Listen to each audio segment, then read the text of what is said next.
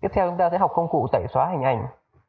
Thì công cụ tẩy xóa này nó sẽ tẩy phần dư thừa tấm hình. Những phần chúng ta không mong muốn mà nó làm tấm hình rồi. Các bạn bấm vào cái biểu tượng khóa này, nhấp nút vào, mở khóa ra. Các bạn có thể nhấn Alt Tab cùng với bánh xe trên con trỏ chuột chúng ta xoay lên. Ví dụ đây, tôi muốn làm một thư viện cây để đôi khi cần ghép những phối cảnh. Tôi sẽ phải tẩy trắng những nền này đi để sao cho còn mỗi cây này thôi. Khi ghép, nó sẽ hay hơn. Các bạn chọn công cụ tẩy công cụ đầu tiên Array Tool công cụ này mang tính chất tẩy tự do. Các bạn có thể nhấn cái dấu ngoặc vuông ngay trên phím Enter bên tay phải. Chúng ta tẩy.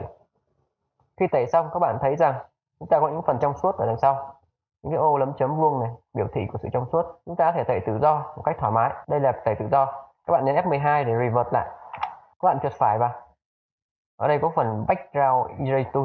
Cái này tẩy như thế nào? Các bạn chỉ cần bấm đối tượng. Một đối tượng thì nó tẩy một lốt đương nhiên các bạn sẽ cảm thấy rằng sao nó lại giống giống cái phần ở trên, cũng chảy tự do, cái này hoàn toàn không giống. Các bạn hãy xem tôi tẩy nhé tôi kéo đến phần dưới này. Các bạn cho lớn lên. Khi mà tôi nhấn vào cái vùng trắng này, các bạn giữ chặt chuột trái nhấn luôn. Thì nó chỉ tẩy liên quan đến vùng trắng thôi. Những cái diềm cái mép này, nó tẩy hơi vào nhưng mà nó không ăn vào. Vì vậy cái này có thể hiểu như sau. Đầu tiên các bạn ấn chuột trái vào, nó sẽ định rằng cái màu mà các bạn muốn tẩy là màu gì vừa rồi tôi bấm là màu trắng, thì bây giờ nó sẽ chỉ tẩy liên quan màu trắng mà thôi. Chúng ta lần lượt tẩy các đối tượng còn lại. Tẩy cái mép. Với cách này chúng ta sẽ tách phần background ra. Đúng như cái tên của nó erase background tool. Đúng không các bạn? Tôi có thể tẩy xung quanh cái này.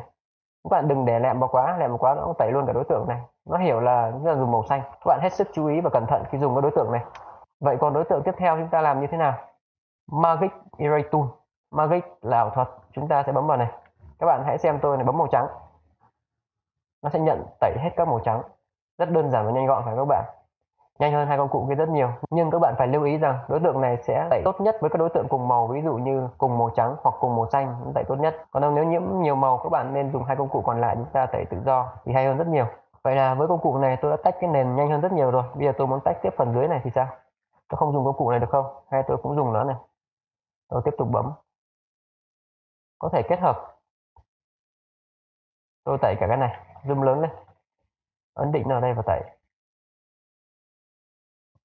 Vậy là tôi tách thành công cái nền rồi.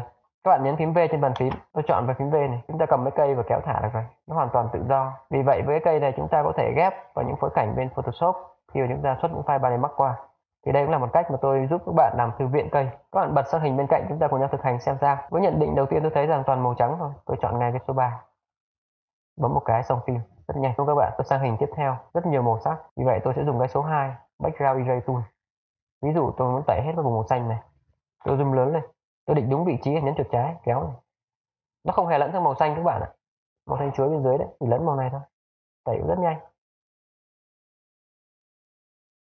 Còn nếu tôi chọn cái số 3 thì sao? Chúng ta cũng nên thử. Biết đâu nhanh hơn. Tẩy. Các bạn thấy không? Nó cũng tẩy rất nhanh, nhưng mà nó chỉ xác định một cái vùng màu nào đó cùng màu nó tẩy ra, bấm cái thứ hai, ra bấm tiếp thứ ba này, thứ tư này. Cách này cũng giúp chúng ta tẩy nhanh, nhưng đôi khi bị lẫn.